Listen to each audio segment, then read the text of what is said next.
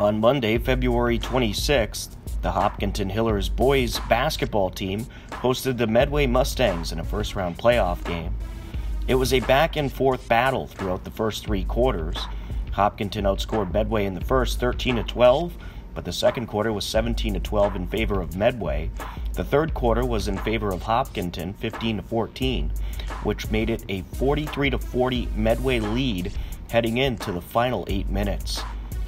In the fourth quarter, the Hopkinton offense struggled from the field, and Medway outscored the Hillers 19 to 5 and took the game 62 to 45.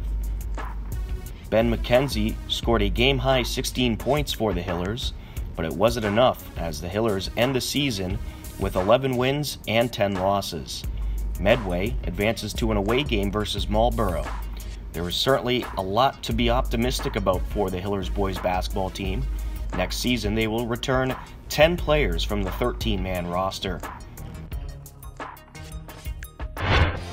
On Tuesday, February 27th, the Hopkinton Hillers girls picked up a decisive home win versus Holliston 52 27.